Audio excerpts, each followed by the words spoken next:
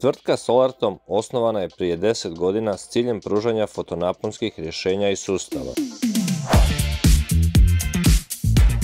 Među našim istaknutim projektima su Apart Hotel Prelug u Opatiji te impresivna solarna elektrana na Guguljanovu s ugrađenih 1100 panela.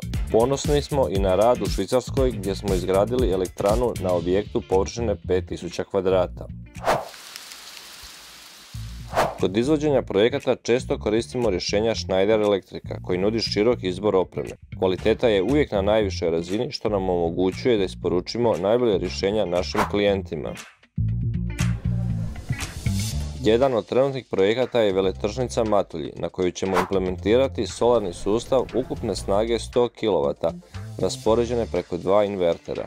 Projekt uključuje panele i podkonstrukciju hrvatske proizvodnje te domaću radnu snagu.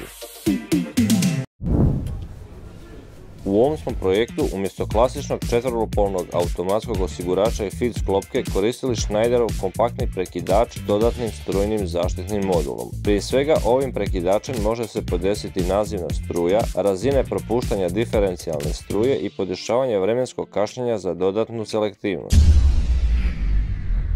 Istaknuo bih i mogućnost jednostavne naknade dogradnje motorskog pogona, modula za mjerenje potrošnje energije ili tog strunog zaštitnog modula, ako inicijalno nije postavljen na prekidaču. Solarni sustavi su ekološki prihvatljivi jer proizvode čistu energiju bez emisija stakleničkih plinova. Stoga će implementacijom ovog sustava veletržnica Matulji smanjiti svoj ekološki otisak.